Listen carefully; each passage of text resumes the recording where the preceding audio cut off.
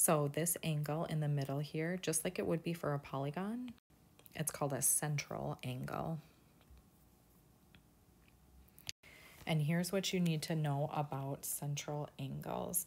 We're going to look at how central angles and their arcs, their corresponding arcs, are related to each other. So in this particular diagram, we know that the central angle here is 110 degrees.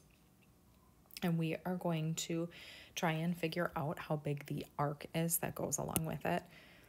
So that we're, the arc that we're looking at is going from A to C. There's only two letters here for AC, so that means it's going to be a minor arc. It's going to be the short way around the circle.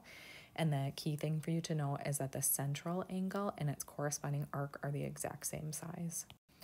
So this arc from A to C here is 110 degrees. Okay, so now we're going to do some practice problems where we're going to try and identify how big some angles and arcs are based on this picture. So one thing for you to note here is that we've got a regular pentagon. So A, B, C, D, E is a regular pentagon. If you think about that, then angle EFA that we're looking at here is going to be a central angle. And we know that for central angles, we're going to do 360. And then for this one, we'll divide by 5 since we've got a pentagon. So we're going to get 72 degrees for that. So not only is angle EFA 72 degrees, but really all of the, the angles at the central angles there are all 72 as well.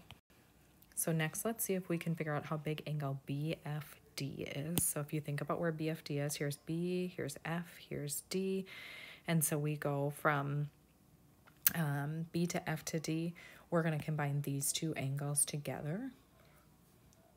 So that's going to give us 144.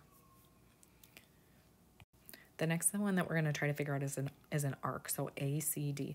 So we're going to be starting at A, going the shortest way we can to C, and then ending at D we're going to try to figure out how big that big arc is around the outside.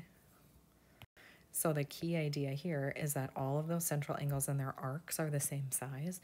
So they're all 72 degrees. So we're going to combine these 72s together and we end up with 216. Okay, next on the list is a new vocabulary term. So this is another angle, but you can see this time A is not at the center of the, the circle. Instead, it's on the edge of the circle. So when that angle is on the edge of a circle, it's called an inscribed angle. There's a different relationship between inscribed angles and their arcs, and we're going to look at that now. So we've got an angle here, an inscribed angle here that is um, angle BAC. We're going to try to figure out how big the corresponding arc is for that. So if we're talking about angle BAC, the corresponding arc there is BC, and the relationship between an inscribed angle and its arc are that you have to double the angle to get the arc. So if I double 30, I get 60. Okay, so now we're going to see if we can figure out how big angle DAC is. So I'm going to go ahead and connect DAC together. You can see that I also added in here how big the arc from D to C is, which is 110. So if we work backwards, instead of doubling the 110, we're actually going to divide it by 2 this time. So if I do 110 and I divide by 2, I get that 55 degrees. So inscribed angles are always smaller than the arc. The next one we're going to look at is arc AD. So we're going to try to figure out how big arc AD is. Now you'll note up here it says that AC is a diameter of the circle. So if you think about um, going halfway around a circle, halfway around a circle is going to be 180 degrees.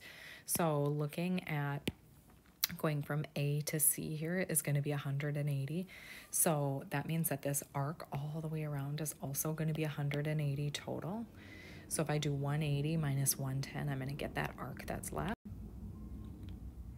which is 70.